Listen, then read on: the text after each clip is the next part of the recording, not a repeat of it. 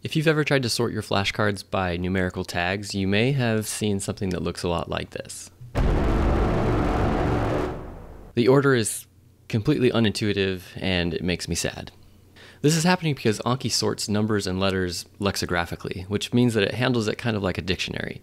So it sorts by the first letter or number that it encounters. And thus, when it encounters two numbers, say for example the number 10 and the number 9, it actually ranks the number 9 as being a higher number or coming sequentially after number 10 because it's comparing the first number that it's encountering, the 1 versus the 9. It turns out there's a really simple way to fix this um, thanks to an old forum post from 2021 from uh, old Grant Dominion.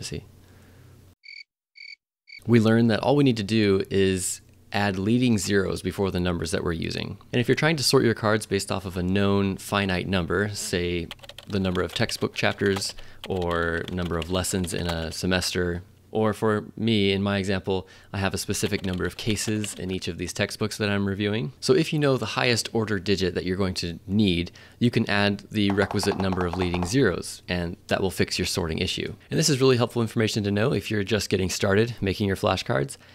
But what if you've already made several hundred flashcards? Does this mean you have to update them one by one manually by hand? Like a noob? No. It's 2024, baby. We got toilets that wipe your own butt for you. I'm going to show you how to use a very simple Python script to go ahead and search all of your pre-existing tags, change the numbering scheme so that you can sort by tags and not have it look like a nightmare. So in order for this to work, you're actually going to need to have Python downloaded to your computer, as well as a simple code editor so that you can run simple scripts from a console. I've got links to both of these things in the video description, or you can also find the links to them on my webpage where I have this script, also linked in the video description. And it's super easy to get these things set up. All you have to do is follow the links, download the most current version, and then follow all of the setup prompts, and you'll be up and running in minutes. Once you've got Python and the code editor downloaded, all you need to do is head back to Anki, find the deck that you want to work with, and then on this, click on this little gear icon over here to the right hand side. Click on export, and then we're going to change the export format. We want this to be notes in plain text. What that's going to do is export all of your flashcards in a tab delimited text file, which we can then use with our script to be able to find all of the tags, make the changes we need, and then re-upload it to Anki so that we can update all of the flashcards we have my flashcards have HTML and media references, so I want to make sure that this is checked. And then you're going to want to save your flashcard deck somewhere that's easy for you to find. All right, so once that's saved, the next step we're going to do is open up our code editor and then click New. We can get rid of this text. And then I have a link in the video description to my website where I have this script prepared for you. And then if you hover over the right upper hand corner, you can click copy. That'll copy all of the script, go back to your code editor and paste it in. Now this script is written with a bunch of instructions kind of detailing how the script works, what the different parts of the script are doing in case you're interested. But I also tried to make it very obvious in the locations that you need to make changes to be able to tailor it to your specific needs. So to be able to put the exact text that the script is looking for and what it'll find in your tags. So the first area you'll see here is on line 14. This is where you'll need to change to whatever text is present in your tags. For me, it looks like this, peds underscore case underscore.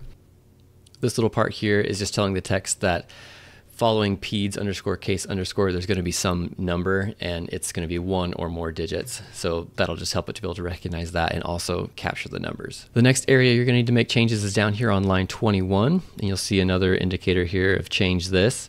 So what we need to change here is we need to change the text just as we did above. And now you'll see that the integer or the number portion is, it looks a little bit different. So what this is going to do is it's going to go through, find all of the tags that you use to number your cards, and it's going to update the numbers and change it from either the single or double digit to a full three digit number. In my case, I only go up to 200 cases, so I just need three digits. If, for example, you had flashcards that numbered up to four digits, um, like in the thousands, then all you would need to do is to change this number three here to four and then that'll go ahead and change all of your flashcards to a four digit number. And that's just going to add the leading zeros so that when it sorts lexicographically, it's going to sort them in a way that is intuitive to human understanding. I just need three though, so I'm going to go and change that back to three. And the last place to make a change is down here on line 33. So this is where you're going to copy the path to your flashcard text file. So go ahead and find your text file where you saved it with all of your flashcards. Here's mine. Go ahead and right click. And if you click copy as path, it'll copy the path to this file and make it super easy for the script to find it. And then come back to your script in your code editor. And on line 33, we're going to highlight this name here because this is a nonsense name, just an example. And then uh, we're going to paste in the actual path to our text file. This little R here is important. If you have any of these backslashes in your um, in your path, for it to be able to accurately find and process this path, it needs to have this little R. That'll just, that is just kind of a syntax thing. You'll need to have that there. And I should add, if you have any issues with this script, um, rather than asking me what's going on, you should probably just ask ChatGPT because that's what I'm going to do. All right, so those three things are really the only three things we need to change in this script, and we're going to be ready to run it. So, but before we can run it, we need to save this. So we're going to save our script. I'm just going to call it tag update and save. And now we're ready to run. So I'm going to go ahead up here and click on run. And if it's working and you're using the same code editor that I'm using, you'll see these three arrows here. That means that we have achieved success. All right, so now I just need to find my output file. And it's going to be a text file. Here, this one. Now I'm going to open up Anki. And all I need to do is drag this file into Anki, and then it'll bring up this import file prompt window. All right, so there's a few things we need to check before we're ready to import these flashcards. The first thing is to check this field separator and make sure that it says tab. Now this is grayed out for me. I can't change it. It's appropriate. So hopefully that's the same for you. Now we're going to scroll down to the import options. We're going to make sure that the note type is correct. So this is the correct note type that I use for this deck. We're also going to make sure that the deck is appropriate. So this is where I want these flashcards to go. Under the existing notes field, I want to select update. So you have a couple different options. I want update because I want to update the cards that I already have in this deck. And I don't want to screw with all of the sorting and I don't want to create duplicates. I just want to take the cards I have, change the tags, and be able to keep using them without any issue. And similarly, under the match scope, we need to make sure that this is note type and deck, what this is going to do is make sure that it's only updating the flashcards that match this note type and that are found within the deck that we're telling it to look.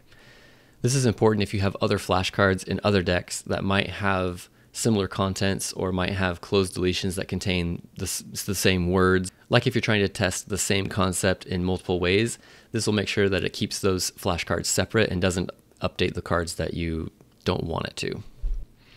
And we also have the option to add another tag to all of the flashcards that we're going to update. Um, I don't really want to do that, so I'm going to leave that blank. And the last thing to check here is our field mapping. This is just making sure that all of the information is mapping to the correct fields and that it's not getting jumbled up. And it looks like all of this is exactly how I want it. So now I'm going to go ahead and click import.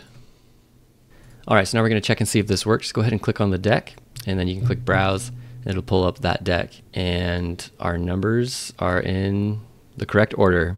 I know that this is not going to appeal to the masses, but if you're out there and you've been looking for this answer, enjoy.